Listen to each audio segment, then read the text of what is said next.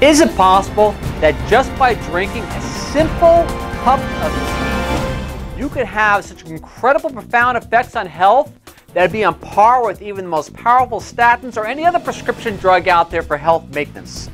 And basically without the side effects. Unless, of course, you're allergic to chamomile. Yes, chamomile.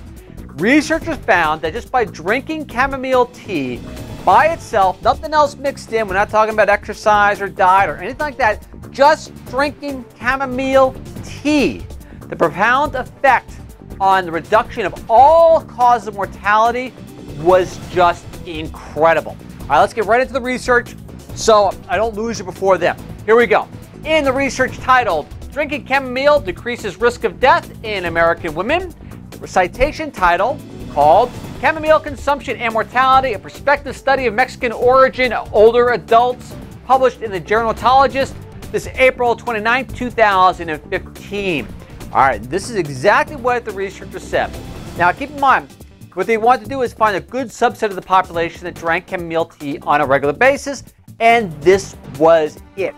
The researchers go into this subject like this. The study examined the seven year period during which researchers tracked the effects of chamomile and the cause of death in older Mexican Americans.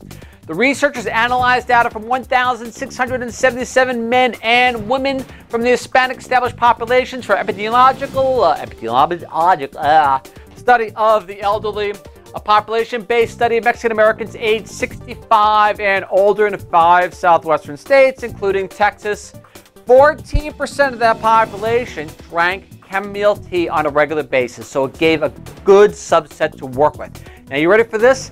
This is how powerful just drinking chamomile tea was. Now, remember, there's a lot of other factors that can be involved in here, and the study needs to be duplicated.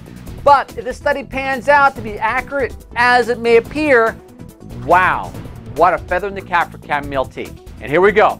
The data showed that consuming chamomile was associated with a 29% decreased, uh, if I get the word out, risk of death from all causes among women compared with non users. 29% reduction in the risk of death from all causes heart disease, stroke, you know, whatever you can name it. That's freaking insane.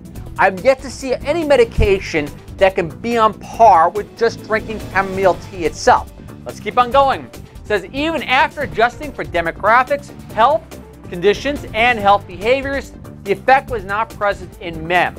And the reason that they may speculate that it wasn't as present in men per se is uh, for a difference in a reported finding between Hispanic women and men is not clear, although women were shown to be more frequent users of chamomile than men, meaning that women may have drank the amount of chamomile tea required to get that desired effect of reducing cause of death down by 29% from all causes. And the researchers conclude recent studies of chamomile have shown, this is their words, not mine, benefits in treating hyperglycemia, upset stomach, diabetic complications, and anxiety disorder. Chamomile has also been touted for its cholesterol lowering, antioxidant, antimicrobial, uh, anti-inflammatory, and anti-platelet effects. The exact pathway for the reduction in mortality represents an important area for future research, i.e., maybe we can make a prescription drug out of this stuff. But in the meantime, if you're really concerned about your health and want to do something simple and positive and time tested, drink up just a cup of chamomile tea a day has just incredibly profound effects. Thank you once again Ralph Turchiano, signing off.